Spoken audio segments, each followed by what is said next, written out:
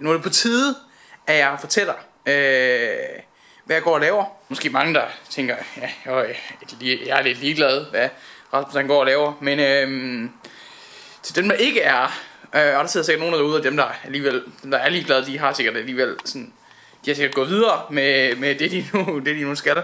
Men jeg tænker at lige at øh, fortælle, øh, ja, hvad jeg går og laver, det er det, det er jo det, jeg kom fra, tror jeg.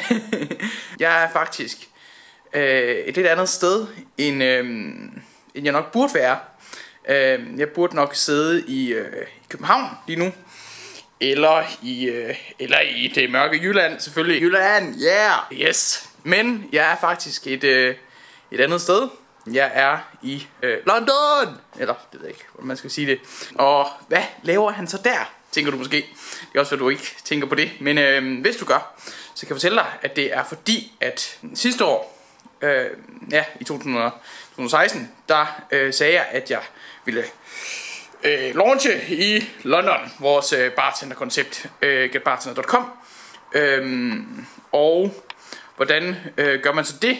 Øh, det vidste jeg jo ikke helt lige. Øh, jeg oversatte min hjemmeside og tænkte, og var to nogle ture derover og sådan noget, og tænkte, øh, det gør man bare lige. Men øh, det, der kom ikke, der kom nogle lige til sådan noget, men øh, vi lukkede ikke sådan rigtig nogen aftaler. Så må man jo, hvis man gerne vil noget, så må man jo gøre det. Det er i hvert fald den, øh, den tankegang, jeg har. Øhm, med det, så er jeg altså taget herover i, øh, i London for at launche vores koncept. Så hvis man ikke lige ser mig i København, så er det altså, fordi jeg ligesom ikke er i, er i, er i byen. Yes. så øh, lige nu står jeg faktisk inde på, øh, på, vores, på det hostel, jeg bor på. Ja, øh, bootstrap business all the way. Ikke noget øh, fancy hotel At, Hvor mange bor vi her? i bor, det har jeg faktisk ikke engang talt. Øh, 2, 4, 6, øh, 8, 10, 12. 12 mand her. Fedt, fedt, fedt. um, så, så det er en... Ja, det er ikke så, det er måske ikke så fedt, faktisk. Men øh, vi, øh, så ellers så, øh, den mentalitet jeg har, det er, at jeg først vil finde noget kontor.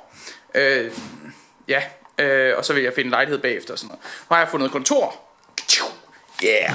Og jeg har fundet, fået bankkonto. Woohoo! Og jeg har også fået et telefonnummer. Øh, så øh, jeg er godt på vej, synes jeg selv. Øh, nu mangler jeg så ja, lige en, en lejlighed eller et værelse eller et eller andet andet end et 12-mands et 12 værelse her.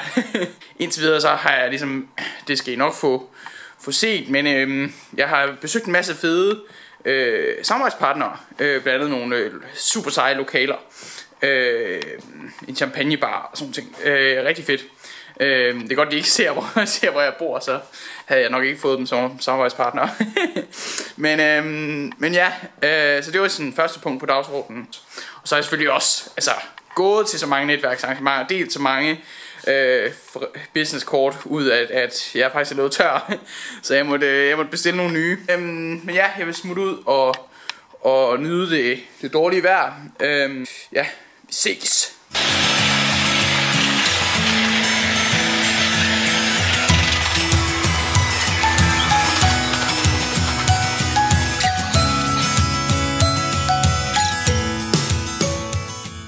Jeg har startet en YouTube-kanal. Gå ind, følg med.